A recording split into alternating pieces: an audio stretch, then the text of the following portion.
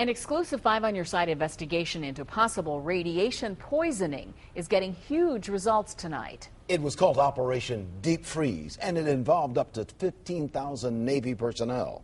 Chief Investigator Ron Regan joins us now with the news that his investigation is headed to top Obama administration cabinet officials. Well, that's right, Leon. Our report revealed a nuclear plant plagued by malfunctions and cancer deaths now being reported.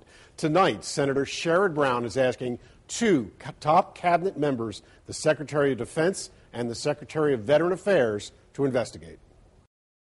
I think when, you uh, when your station is, is, is exposing these things, when veterans were put in a position they shouldn't have been put in, and uh, you know maybe and, and end up developing diseases, cancers or something else because of it.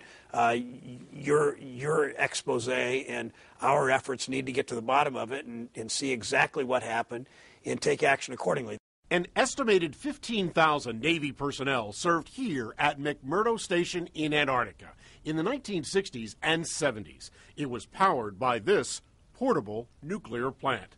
But our investigation found 438 malfunctions from 1964 through 1972. The Navy's final operating report also found leaking water surrounding the reactor and hairline cracks in the reactor liner as early as 1964. Senator Brown serves on the Senate Committee for Veterans Affairs. That's why I'm talking to Secretary Gates. That's why I'll be talking to Secretary Shinseki.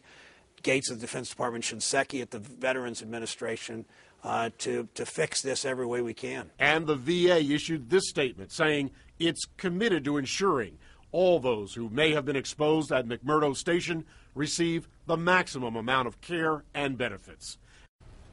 Well, veterans who serve there told us the VA had repeatedly denied their claims for service related disabilities due to cancer. The Navy continues to insist radiation levels were not excessive. But in light of our report, the mystery at McMurdo will now finally be thoroughly investigated. We'll stay on the story. I'm Chief Investigator Ron Regan.